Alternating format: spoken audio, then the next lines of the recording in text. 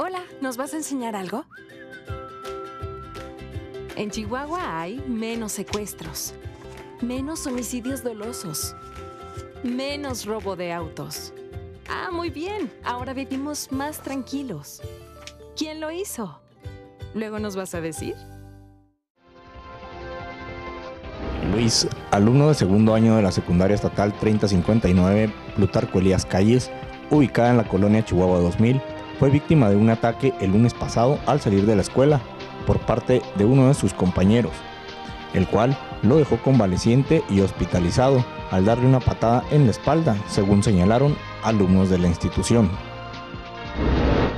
Vecinos de la colonia Ladrilleros Norte señalaron que las cuadrillas de Sede Sol encargadas de la instalación de los techos desprendidos el día lunes después de la tormenta que acaeció en la citada colonia no lo hicieron de forma adecuada, lo que provocó que el viento se llevara la lámina galvanizada, situación que ocurrió en varias casas, pero con el detalle de que en todas había intervenido la dependencia. Alumnos del Tecnológico de Monterrey trabajan en el desarrollo de un robot tripulado como parte de un proyecto de la Semana I, organizada por la institución educativa. Cada transformer está integrado por cinco partes con una estructura movible como base, un tórax tipo jaula donde estarán los tripulantes, dos brazos móviles y una cabeza. Al Partido Acción Nacional le faltan 80.000 firmas para poder ampararse contra el incremento en el número de diputados, contemplado en la reforma electoral del Estado, señaló Mario Vázquez, dirigente estatal.